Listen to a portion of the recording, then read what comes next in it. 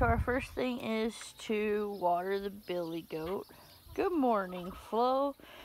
And he'll untangle himself. He's wrapped around the back of the tire because he sleeps under there when it's when it's warm out because then he's in the shade. Um, my billy goats are tied up right now, more for the fact of A, teaching them to behave, B, they like to climb the, all the rams are out too. We're gonna have to go put the rams in. Um, they like to jump the fence, so we get to keep them in. So here's one. This is my black billy. And then we have to water my brown billy, which is right there.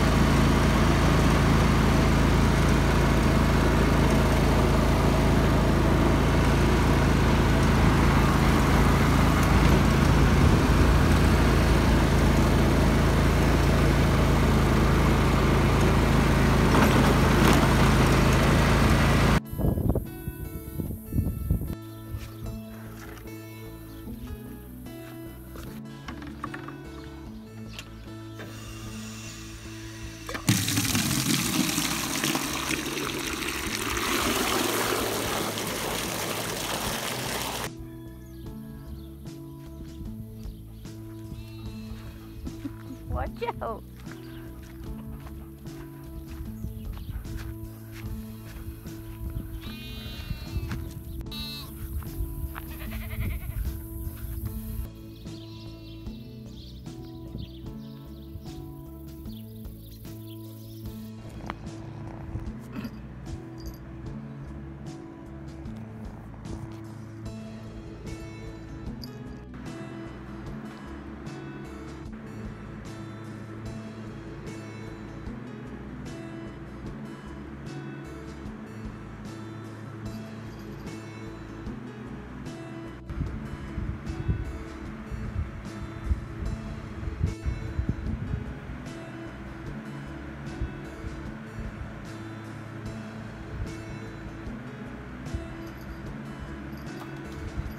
Just your